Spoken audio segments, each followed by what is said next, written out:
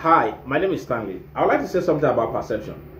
Perception is the sum total of your existence, what you think about yourself, how you relate to people, and how well people can see you from afar.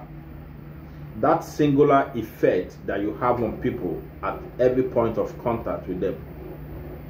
It just, I mean, they said that first impression, your perception the perception of who you are is that first impression that people get to know. Now, how do you perceive yourself? How well do you know yourself? Do you believe in your vision? Do you believe in the goals you've set for yourself? Do you believe that whatever challenges you are going to right now are temporary? They are the stepping stone, your building blocks to the next level.